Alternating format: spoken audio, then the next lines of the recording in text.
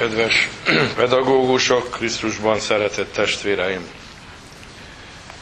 Tegnapi napon a Kalocsai Fiúnevelő Intézetben, ami büntető intézet, konferenciát tartottak az ország minden ilyen hasonló intézményének a vezetői pedagógiai tapasztalat cserére jöttek össze.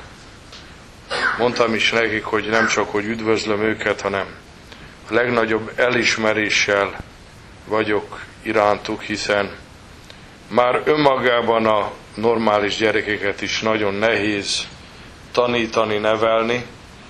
Maga Marcel Mihály állapította meg, hogy a pedagógiában nem érvényesül az energia megmaradás törvénye, itt pedig egy sajátosan kibérelt helyjel szinte a felnőtt börtönre való fiatalokkal foglalkoznak, ahol az a pedagógusoknak az érzése, hogy nem csak, hogy farahány borsó, amit mondanak, hanem még a falat se éri el. És érdekesek voltak az előadások. Eljutottak ugyan oda, ahová mi már régen eljutottunk, hogy a legnagyobb nevelő erő a példa.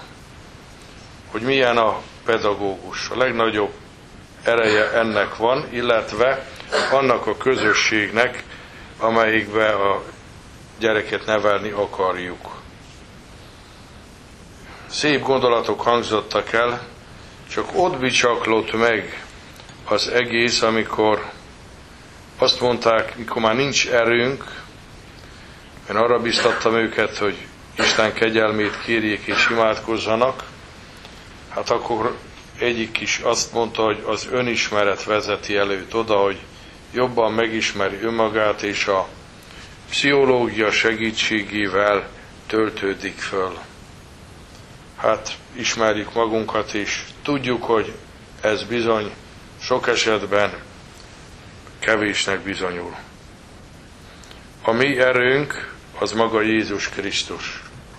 Ezért is az etika és a hittan, bár céljában nagyjából ugyanazt akarja, jobbá tenni a gyereket, mégis az etika megalapozatlan a hittanhoz képest, mert József Attila szavával el lehetne mondani, hogy miért legyek tisztességes, kiterítenek úgy is, miért ne legyek tisztességes, úgy is kiterítenek úgy is. Vagyis önmagában az etikának nincsen alapja. A hittan az biztosítja az alapját a erkölcsi rendnek, és ahogy a Szentírásban is tapasztaljuk, hogy a dogmatikai kifejtésre jön azután a morális továbbgondolás. Mostani evangéliumi szakaszunknak az első mondata egy sokszorosan idézett mondat, a budapesti Szent István Bazilika címoldalán, vagy a mm, timpanonja alatt is olvassuk, hogy ego sum via veritas et vita, én vagyok az út, az igazság és az élet. Ez az eredetiben, mert ugye a Szentírás eredeti nyelve görög, ego eimi hodos, alétája kájzói. És ezen el kell gondolkodnunk, hiszen itt Jézus nem csak egy útmutatást ad, hanem meg is alapozza.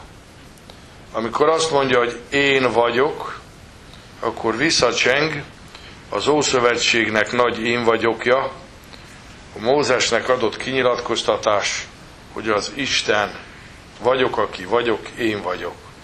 És maga Jézus ezt mondja önmagáról, hogy ő az Isten fia. Ő van. Én vagyok. Megvan az alapja az etikánknak, hiszen ráépül. És ő nem úgy volt, mint a Tóra, ami annyit jelent, hogy útmutató, vagy a távol-kelet nagy vallása, a taoizmus, ami megint csak utat jelent, bár jó összekötő kapocs lehet a misszionáriusnak a kereszténységgel, hogy Jézus az út, Mert Jézus nem csak utat mutat, hanem magát teszi úttá. Én vagyok az út, és nem utca. Ma nagyon sok embert meg lehet kérdezni, hogy mi a különbség az utca meg az út között. Mert ugye van Váci utca, meg Váci út. Az út mindig kimegy egyik településből a másikba. Ami belül van, az csak utca. Jézus nem azt mondta, hogy én vagyok az utca. Nem erre az életre akart ilyen immanens dolgokat mondani, hogy mit tegyetek az alatt a 60-70 év alatt, amíg éltek, hanem azon túl is.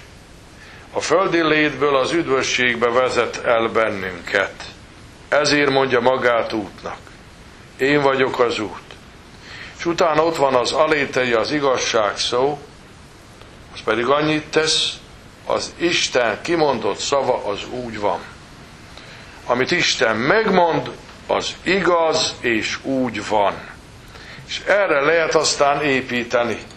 Szoktuk mondani valaminek az igazság tartalmát súlyozandó, ez pedig Szentírás. Ugye? A Jézus szava az olyan igazság, ami valóra válik.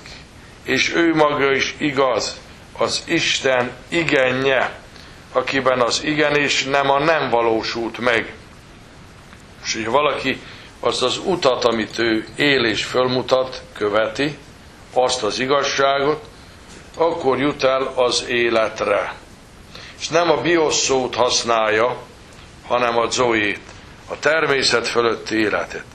Nem, mint hogyha a biológiai életnek nem lenne szüksége, és nagyon jó, hogy bevezetik a testnevelés órát, de hát azért a hittanórának, a, a lelki élet órájának is meg kell adni ugyanazt a nyomatékot.